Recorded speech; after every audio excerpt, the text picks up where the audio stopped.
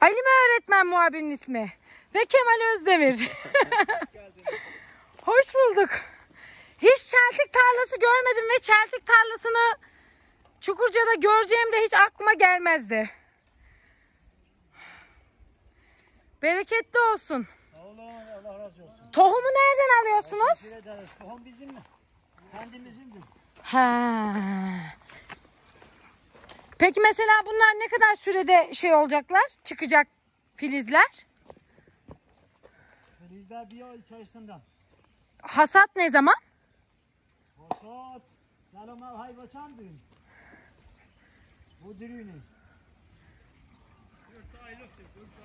Yani Eylül Ekim Tabii. o zaman.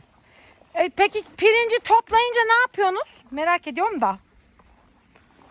Hazreti Beyci. Buradan sular geliyor.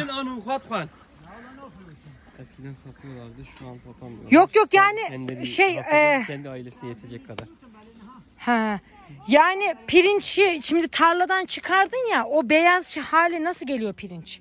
Değirmene mi götürüyorlar? Ee, mam, ev birinci hunç veri deyit xinin. Hünüt bana e, değirmeni hunkul etken, unçağı öğütlemişken. Hale hale ya. Pirinç değirmeni ya. Vay ne, önce ayıklamışken paç yürütken değil mi? Tabii. Ee, aşamalar var, 2-3 aşaması var. Önce toplayıp sonra ayıklama ve ondan sonra yenilecek hale getirme. O zaman ömrümüz olursa sonbaharda geliriz hasatta. İnşallah. Hangi ay İnşallah. gelelim dayı?